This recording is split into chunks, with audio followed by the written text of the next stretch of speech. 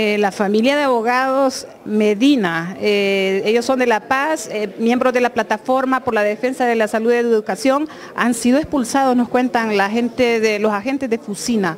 ¿Cómo fue que se dieron estos hechos? Sí, el día que ocurrieron los hechos... Estamos con el abogado, porque nos lo hemos presentado, el abogado Roger Emilio Medina Orellana. Sí, muy buenos días, soy, quiero decirle abogado, Estamos el cuerpo de abogados de la plataforma en, derecho, en defensa de los derechos de la salud y educación. Está mi padre, el abogado Roger Medina, y mi hermana, la abogada Cindy, y otros 12 abogados más que estamos en esta plataforma y estamos apoyando el proceso de investigación para que se haga justicia por el caso del asesinato de Evelyn.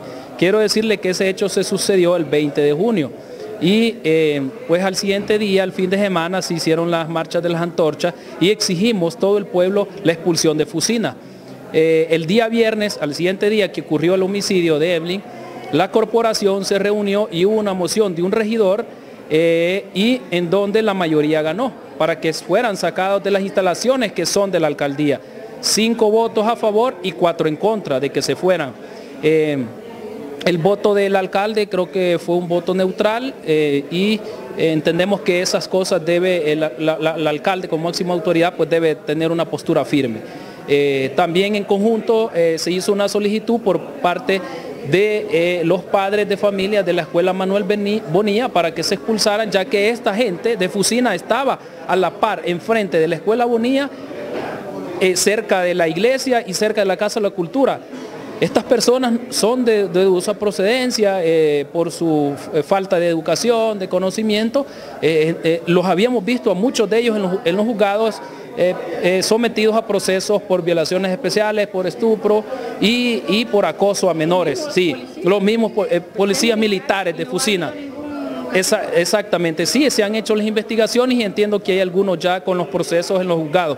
todo esto vino a explotar cuando la muerte de Evelyn y por eso ya al día de hoy este, ya no están las, personas, los policías militares y estamos muy felices porque en La Paz Sabemos que debe imperar el orden, la Policía Nacional está para que se garantice el orden y la ley, que se cumpla, pero no necesitamos militares en un municipio y un departamento tan tranquilo como es La Paz. Vamos a ver aquí la abogada Cindy Medina que nos dice sobre esta salida de los militares, cómo lo ha recibido la población allá en La Paz. Eh, bueno, gracias a la presión que ha tomado el pueblo de La Paz y la aldea de Yarumela, ¿verdad? Que pertenece a la ciudad de La Paz, al departamento de La Paz.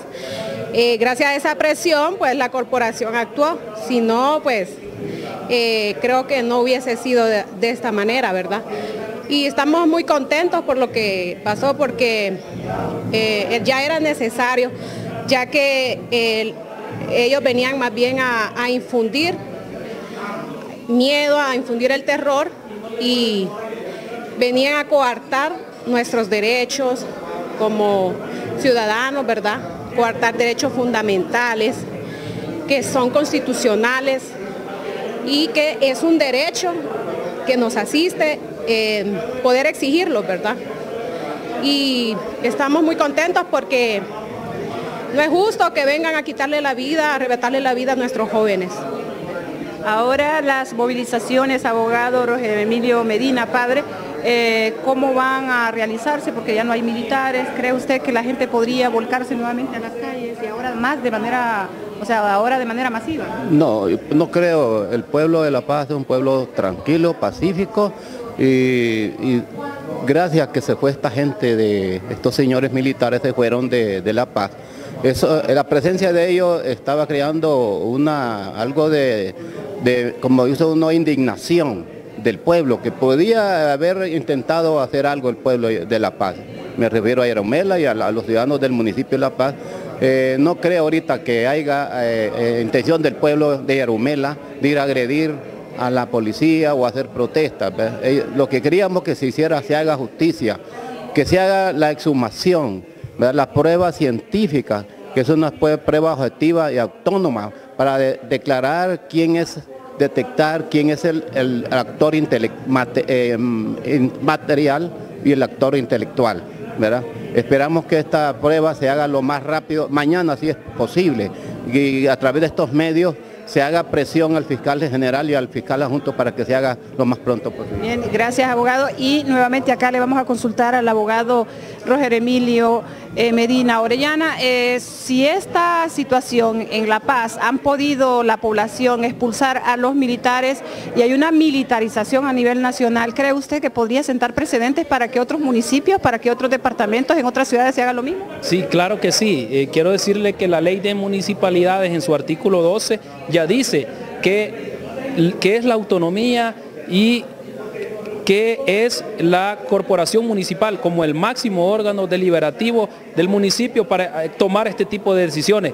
También que es independiente de los poderes del Estado. Y esto es importante mencionarlo. O sea que la, alcaldía toma sus propias decisiones. Es autónoma, es independiente y para eso existe una corporación elegida, un alcalde por el pueblo, por el voto directo.